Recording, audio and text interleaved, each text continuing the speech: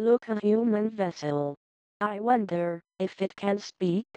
Wow. Aliens. I wonder if they can speak? Human craft, can you hear me?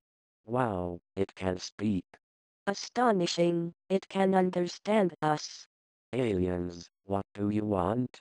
We wish to know the way to the moon. We are going to Zoob's 5000th birthday party. It's about 47 million miles to your left, but I wouldn't go there if I were you. Why not? I went to a party there once, but it lacked an atmosphere.